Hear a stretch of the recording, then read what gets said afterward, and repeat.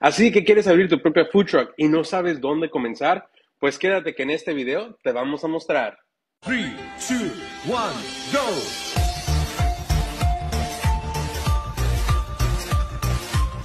Y hay ciertas cosas que tenemos que tomar en consideración. Cada estado, cada ciudad y cada condado son diferentes y por consecuencia tienen diferentes regulaciones. Así de que te invito a que vayas a la página de internet correcta o a la oficina correcta en tu condado para pedir información específica de acuerdo a tu proyecto. Ahora sí, ¿cuál es el primer paso que debo de tomar para poder arrancar en el mundo de las food trucks? Es que te decidas por el nombre que vas a usar oficialmente para tu negocio. ¿Por qué razón? Porque ese nombre, una vez registrado oficialmente, es el que vas a utilizar para todo el papeleo. ¿Y qué vas a necesitar para registrar tu negocio oficialmente? Viene siendo un seguro social o un IT number. Y puedes registrar tu negocio como sole proprietor, como dueño individual o una corporación. Con eso vas a poder ir a un banco y abrir una cuenta de negocio. Siguiente paso es de que registres tu negocio oficialmente en tu estado para tener y crear ventas. Una vez de que tengas todo eso, llegó el momento adecuado contactar al Departamento de Salubridad o Health Department de tu condado. En esa trayectoria, ellos son los que van a decidir si dejarte abrir o no. Una vez que los hayas contactado, ellos te van a entregar una lista de requisitos y de cosas que van a andar buscando en tu food truck, también en tu persona como papeleos y licencias antes de poderte dar una entrevista. Hablemos del papeleo. ¿Qué es lo que van a necesitar de ti?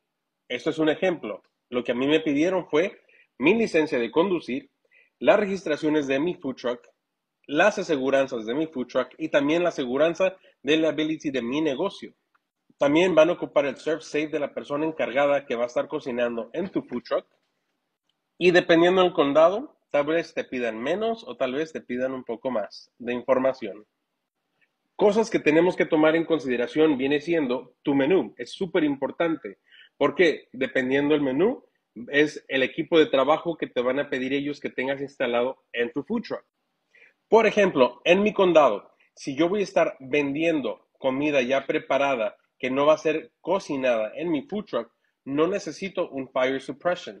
Pero si tu menú requiere que tú estés cocinando ahí mismo en tu food truck, vas a necesitar un fire suppression y que sea inspeccionado por el fire department de tu condado. Otra cosa muy importante que tienes que tomar en consideración es el equipo de trabajo. Dependiendo del condado, pueda que te dejen trabajar con equipo de cocina tradicional, como el que encuentras en una casa, en un hogar normal, o pueda que te requieran que tengas equipo de trabajo profesional de restaurante para poder trabajar en tu food truck.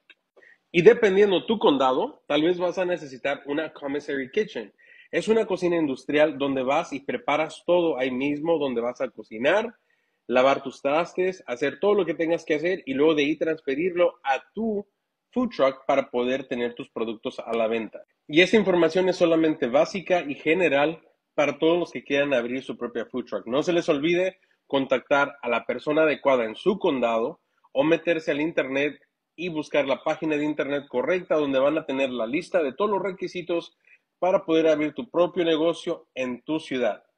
Y con eso damos por terminado este video corto, pero con mucha información. Y si te gustó mi contenido, pues no se te olvide darle like, comentar, compartir y de seguirme.